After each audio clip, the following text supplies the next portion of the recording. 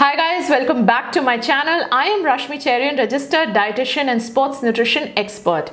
So cramps, bloating, zero energy, we have all been there.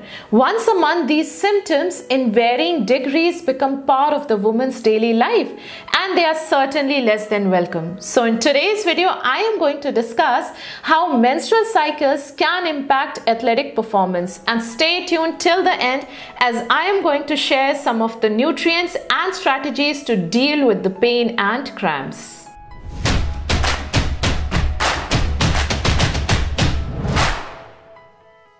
Let's go back to the health class and understand how menstrual cycle can affect exercise and athletic performance. Now girls, listen to me carefully because if you understand different phases of your cycle, you can time your diet and training accordingly and can also tackle your menstrual pains and cramps. So there are two important reproductive hormones in women, estrogen and progesterone. And both these hormones rise and fall in a predictable pattern during your 28 day menstrual cycle. Estrogen is considered to be performance enhancing due to its effects on carbohydrate metabolism, then muscle building and neuromuscular signaling, whereas progesterone inhibits the effects of estrogen. So there are two main phases of your menstrual cycle, follicular phase and luteal phase. Follicular phase happens during the first half of your cycle, whereas luteal phase is the second half of your cycle. So let's first understand follicular phase and athletic performance. This phase starts with day 1 of your cycle and during this phase your hormone levels are low. So this is an ideal time for high intensity training to build fitness and is also a great time to focus on resistance training that build muscles. So certain nutrients are required during this phase. Number 1 carbs. During this phase your body is better able to use energy from stored carbohydrates. Number two, iron.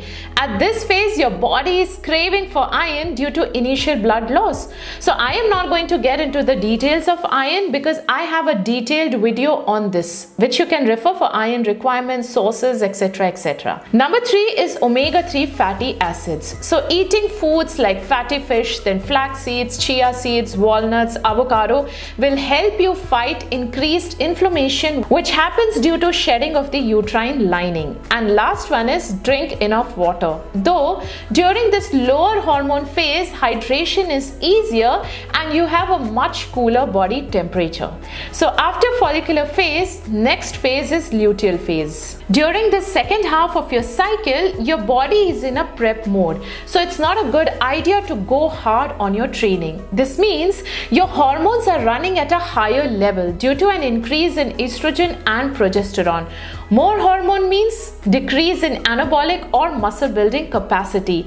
So girls take it easy. Focus on lower intensity workouts and more recovery time. Now during this phase, your body needs fuel from extra carbs and calories from outside both before and during workout. Also, during this luteal phase, you feel more hungrier than usual and this is completely normal. Please don't fight it and listen when your body is telling you to eat. And lastly, your body needs more water during this luteal phase. More hormones means greater risk of dehydration. So girls, once you know how your body functions, you can work with it and not against it. But periods are no fun at all. For some women, it's quite easy to pass those five days with barely any symptoms, while others struggle to carry out their normal functioning due to cramping, nausea, headache, and other menstrual symptoms. And it becomes more challenging for female athletes. Many females take pills and try different home remedies for relief, but there is a simpler way to deal with the nasty menstrual pain. You can make small tweaks in your diet and Apart from sufficient water intake, including certain nutrients can also give you relief from pain and cramps. So the first nutrient is magnesium. Magnesium relieves menstrual cramps, then improves your premenstrual mood changes, especially irritability and anxiety. It may also help with muscle relaxation, muscle cramps and sleep. And that's why a lot of women crave chocolates during their monthly cycle because of its high magnesium content. So eat cashews, soybeans, spinach, almonds, avocados, banana and beans for relief. Next nutrients are vitamin B6 and B1. Research has shown that taking vitamin B6 and vitamin B1 may help with PMS, reduces pain, cramps and mood disturbances. Vitamin B6 can do wonders for the emotional symptoms of PMS. It is required to convert tryptophan into serotonin, which is a neurotransmitter that regulates your mood, whereas vitamin B1 is involved in neuromuscular and central nervous system activities. This means it regulates uterine muscle contraction, which is your cramps only. So you can get vitamin B6 from soybeans, then oats, banana and poultry, whereas vitamin B1 is found in whole grain bread, then nuts, peas and some fresh fruits like bananas and oranges. Third nutrient is vitamin E. Vitamin E may help to reduce pain and menstrual blood flow. You can get vitamin E from nuts and seeds, but you can also take vitamin E supplement like 200 IU daily and specially start 2 days prior to your periods and continue 3 days from the onset of periods. Avoid high doses of over 400 IU daily.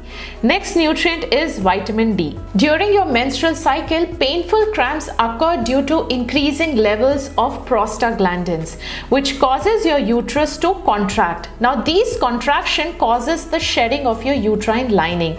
So vitamin D reduces the production of prostaglandins which in turn relieves muscle pain then regulates your cycle and also improves your mood. So a daily dose of 1000 IU or more can help but make sure to consult your physician or sports nutritionist before consuming any supplement.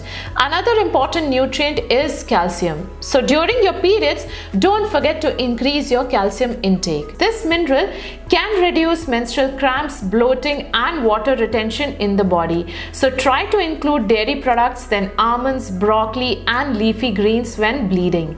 Next important nutrient is curcumin. Curcumin, which is an active component of the spice turmeric, can help with the symptoms of PMS.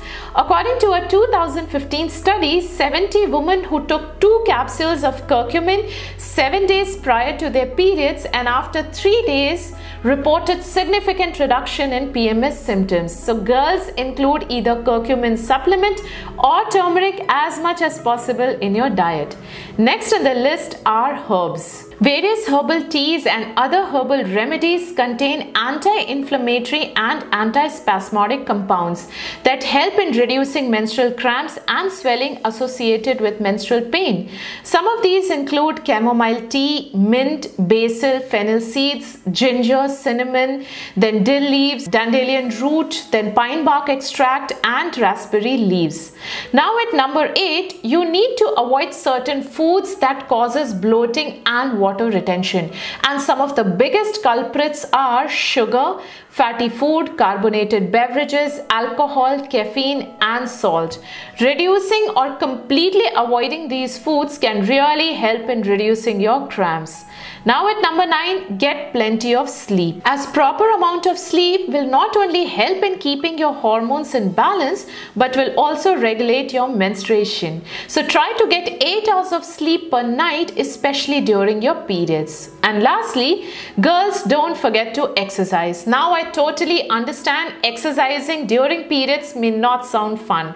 But trust me, it can really help with your symptoms. Exercise increases both your blood flow and the production of endorphins which decreases the amount of prostaglandins and pain. So exercise as per your phase what I explained in the beginning. So athletes if you follow these tips and time your diet and exercise as per your phase you will notice many benefits over the course of your next menstrual cycle, including reduced menstrual cramps, weight loss, and improved energy levels. So, see, something as simple as changing your diet and including certain nutrients can lead to powerful improvements in your health. So, I hope you enjoyed this video and learned something new. And if you did, then make sure to like this video and don't forget to subscribe and hit that bell icon to get notified about my new uploads. As usual, thanks Thanks for watching. Have a lovely weekend and I will see you next week.